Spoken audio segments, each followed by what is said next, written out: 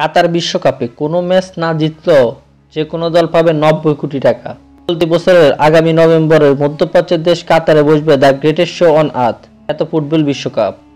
অন্যান্য আসরের চেয়ে এবারের আসরে ঘিরে প্রতিটা দলের মধ্যে রয়েছে বিরাট উৎসাহ। সেই উৎসাহকে আরও কয়েক গুণ বাড়িয়ে দিয়েছে চ্যাম্পিয়ন দলের প্রাইজ মানির ঘোষণা। সম্প্রতি ফুটবলের নিয়ন্ত্রক সংস্থা পিপা দু বিশ্বকাপের প্রাইজ মানি ঘোষণা করেছে। এর আগে গত দু হাজার আঠারো সালে রাশিয়া বিশ্বকাপের চেয়ে এবারের আসরে চ্যাম্পিয়ন দল চল্লিশ লাখ ডলার বেশি পাবে।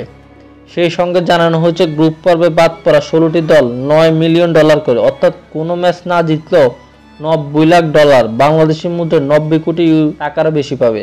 এর আগে রাশিয়া বিশ্বকাপের চ্যাম্পিয়ন দল পেয়েছিল আটত্রিশ মিলিয়ন ডলার এবার কাতার বিশ্বকাপে যে দল শিরোপা জিতবে, তারা প্রাইজ মানি হিসাবে পাবে বিয়াল্লিশ মিলিয়ন ডলার বাংলাদেশের মধ্যে যার পরিমাণ প্রায় চারশো ছাব্বিশ কোটি টাকারও বেশি।